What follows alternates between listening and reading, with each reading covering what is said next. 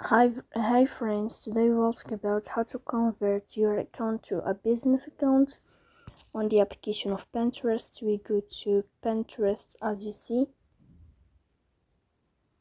In this page, we go down to click in this sign and you will enter. On above, we click in this sign here. Then in this page, we go to this window of account management.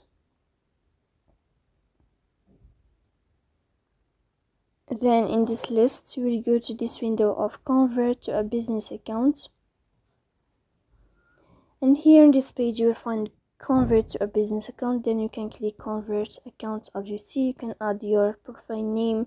Then you can click next to uh, follow all these steps to create your business account. So please don't forget to support us by like and subscribe.